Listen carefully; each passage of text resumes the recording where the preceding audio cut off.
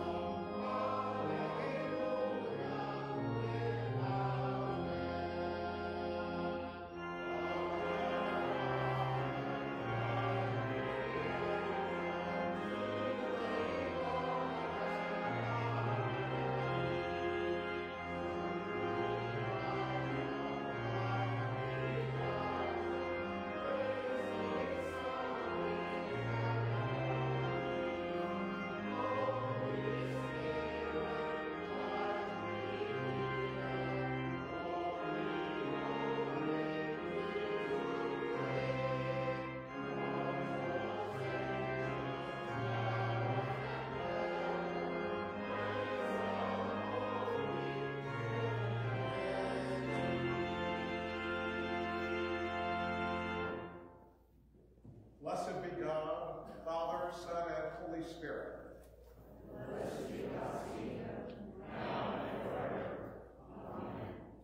Almighty God, to you all hearts are open, all desires known, and from you no secrets are hidden.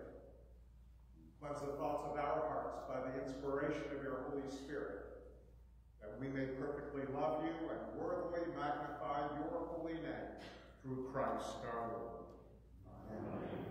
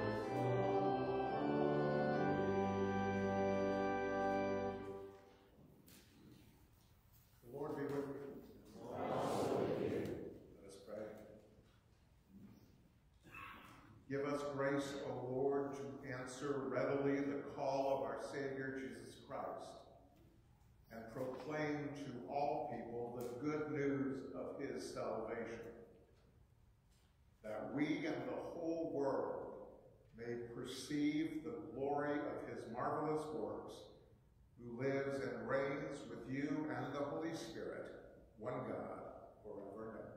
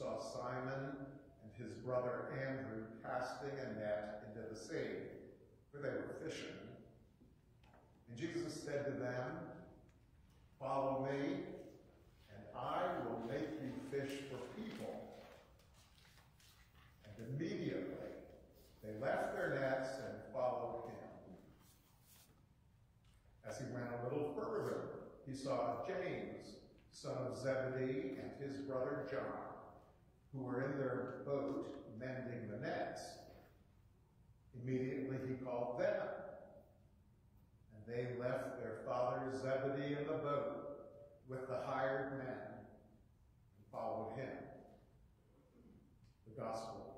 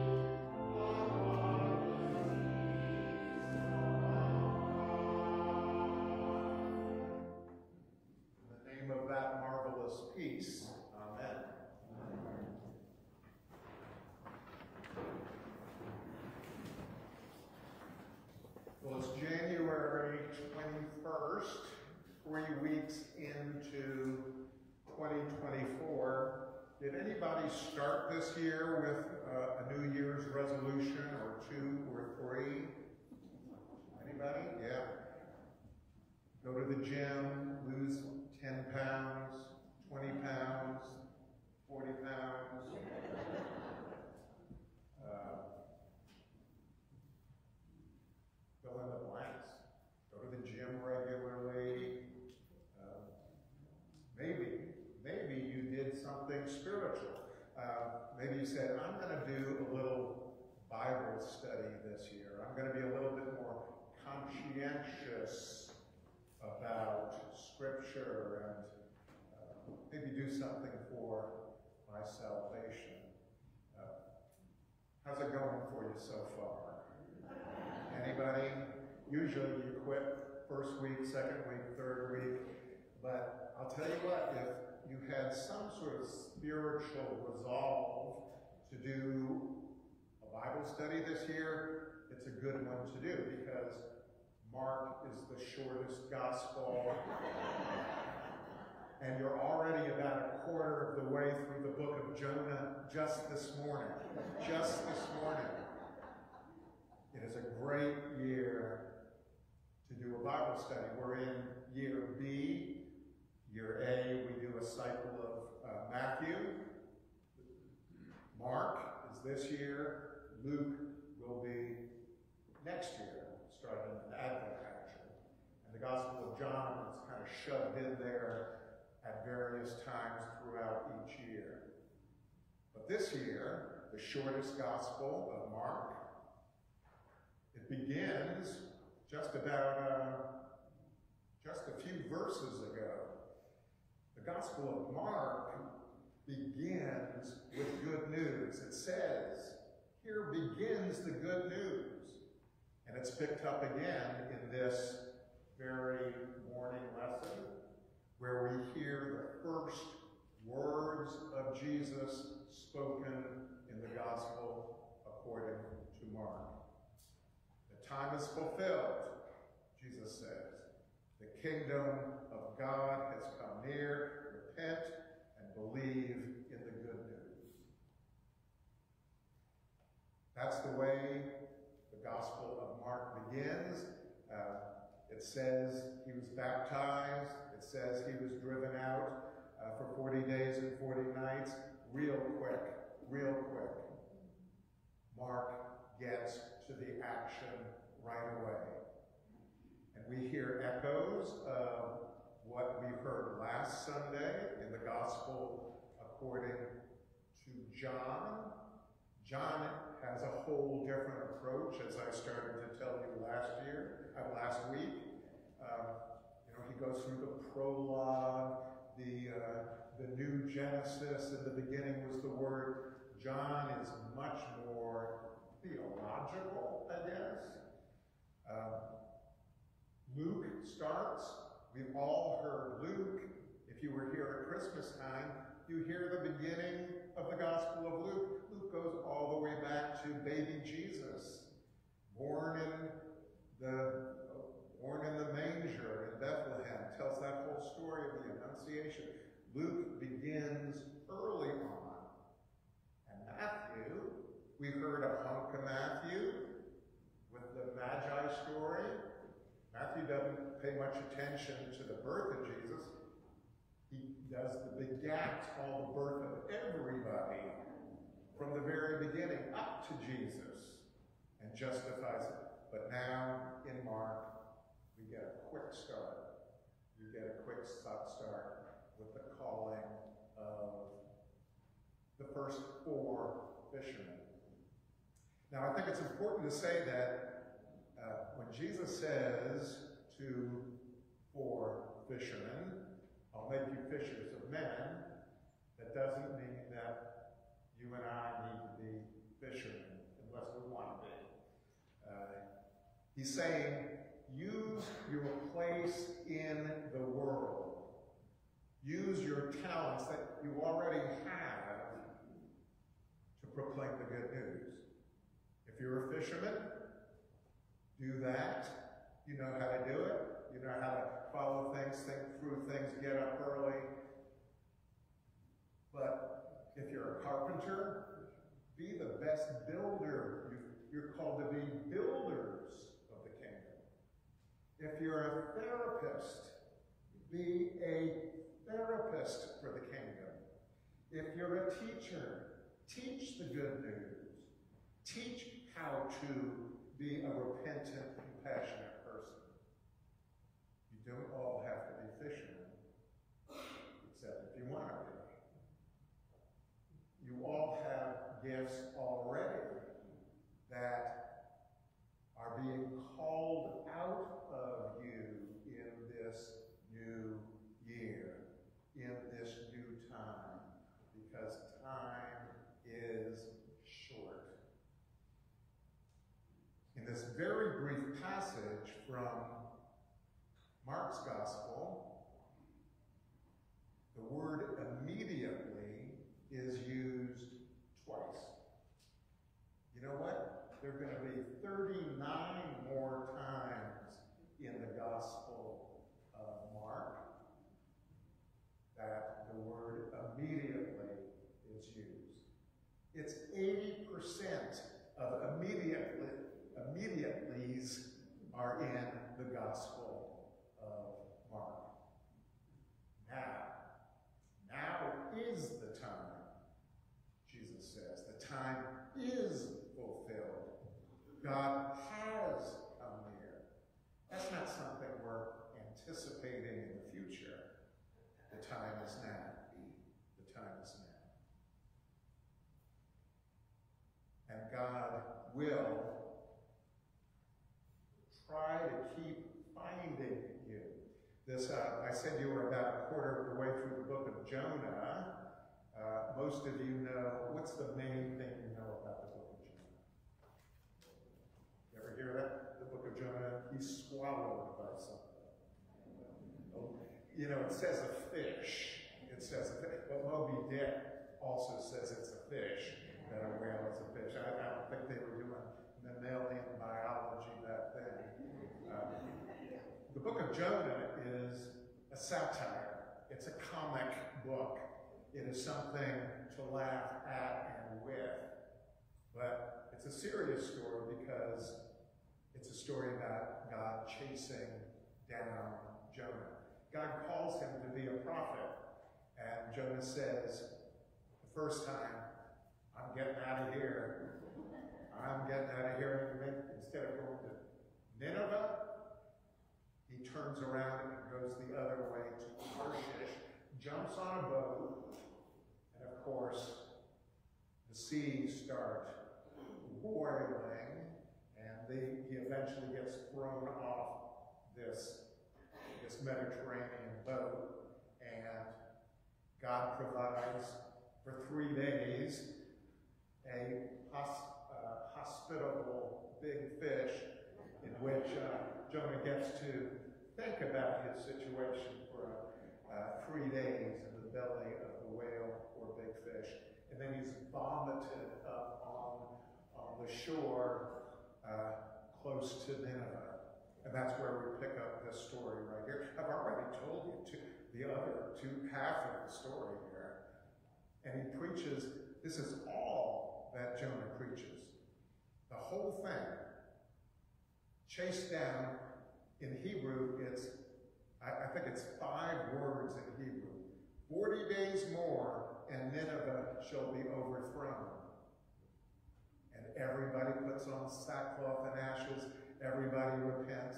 Just a few words in the mouth of Jonah, and everything's taken care of. Everything's taken care of. He even says, even the cattle.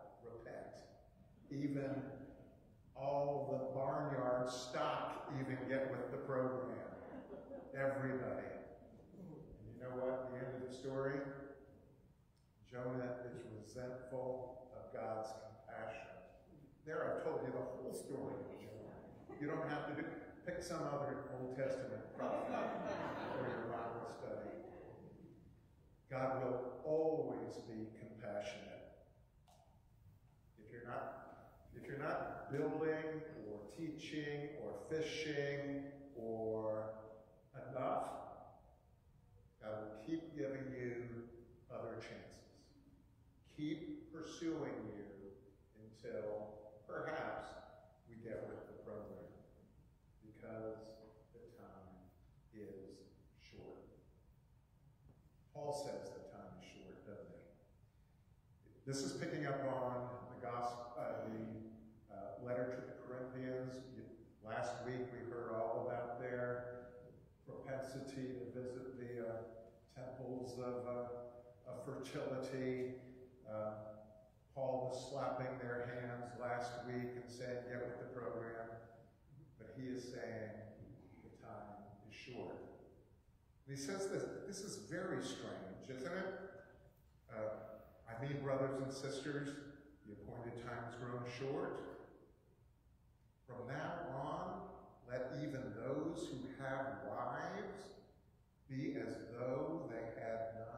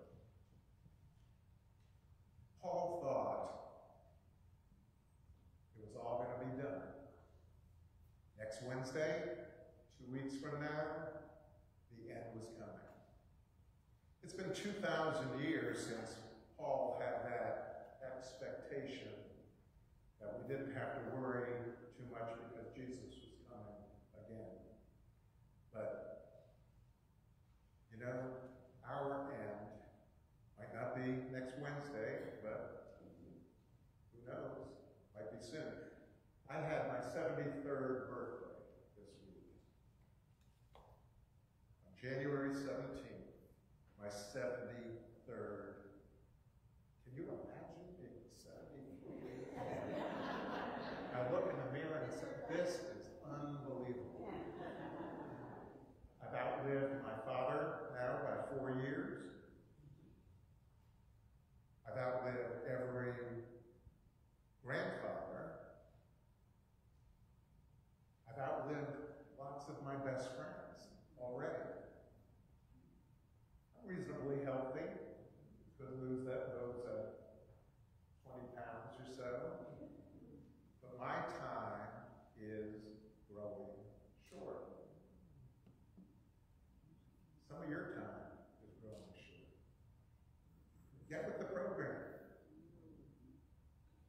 God's chasing you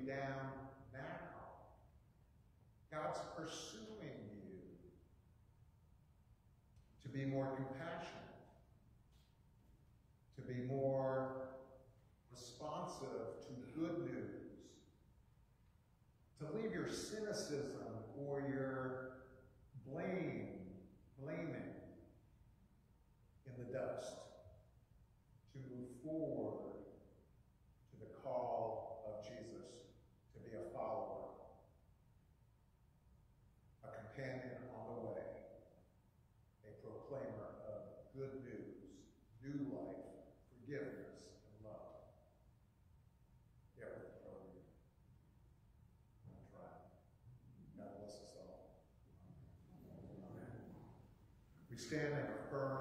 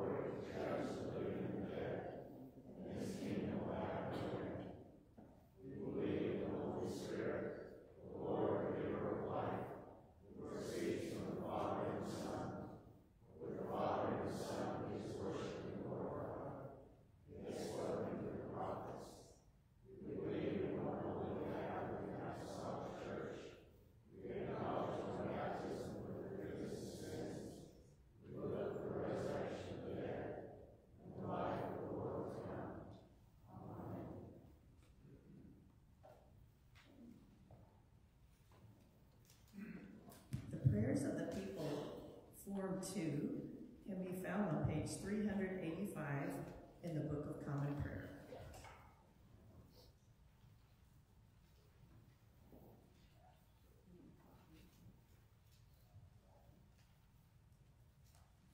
I ask your prayers for God's people throughout the world, for our bishops, for this gathering, and for all ministers and people.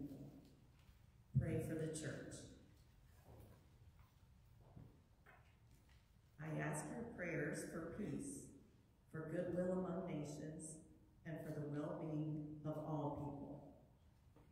Pray for justice and peace. I ask your prayers for the poor, the sick, the hungry, the oppressed, and those in prison.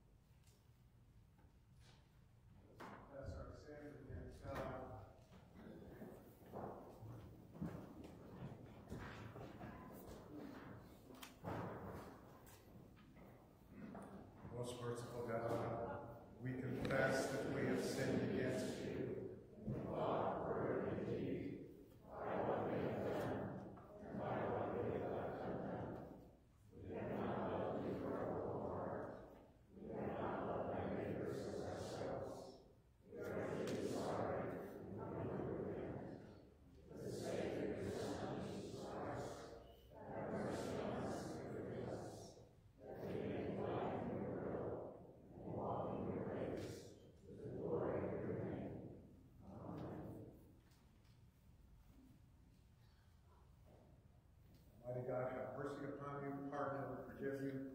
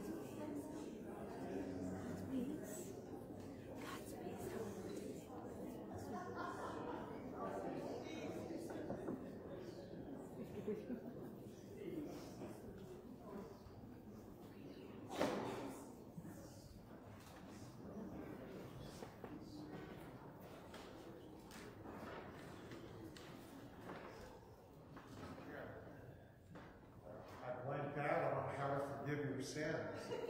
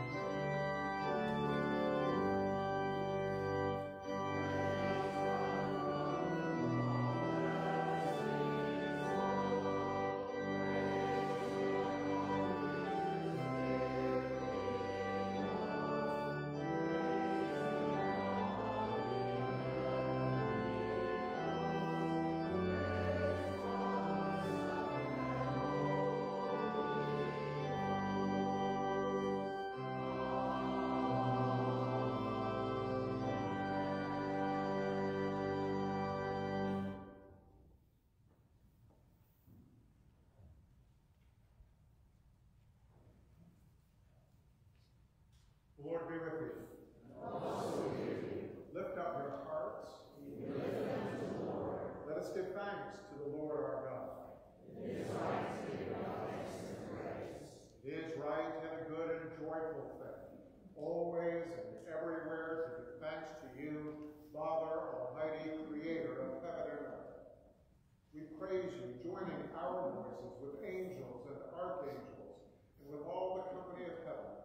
Forever sing this hymn to proclaim the glory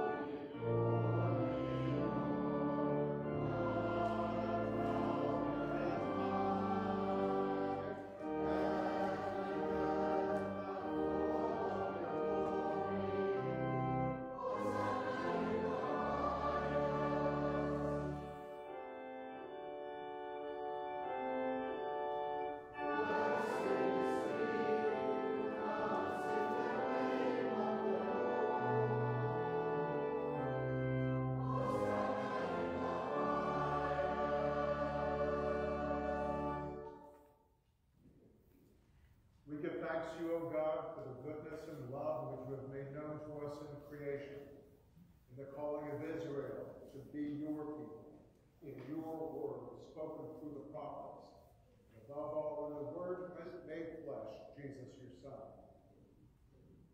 For in these last days you sent him to be incarnate in the Virgin Mary, to be the Savior and Redeemer of the world.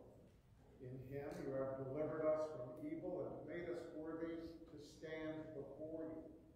In him you have brought us out of error and truth, of sin into righteousness, out of death into life. On the night before he died for us, our Lord Jesus Christ took bread, and when he had given thanks to you, he broke it and gave it to his disciples and said, Take, eat. This is my body which is given for you. Do this in remembrance of me. After supper, he took the cup of wine, and when he had given thanks, he gave it to them and said, Drink this, all of you. This is my blood of the new covenant, which is shed for you and for all for the forgiveness of sins. Whenever you drink it, do this for the remembrance of me. Therefore, according to his command, O Father, we remember his death, we proclaim his resurrection, we await his coming in glory. And we offer our sacrifice of praise and thanksgiving to you, O Lord of all, presenting to you from your creation this bread and this wine. We pray you, gracious God, to send your Holy Spirit upon these gifts, that they may be the sacrament of the body of Christ and his blood of the new covenant. Unite us to your Son in his sacrifice, that we may be acceptable through him, being sanctified by the Holy Spirit. In the fullness of time, put all things in subjection under your Christ, and bring us to that heavenly country where with the Blessed Virgin Mary, St. Alban, and all your saints, we may enter the everlasting heritage of your sons and daughters through Jesus Christ our Lord, the firstborn of all creation, the head of the church and the author of our salvation. By him and with him and in him, in the unity of the Holy Spirit, all honor and glory is yours, Almighty Father, now and forever. Amen. Now as our Savior Christ has taught us, we are bold to pray. Our Father, who art in heaven, hallowed be thy name. Thy kingdom come,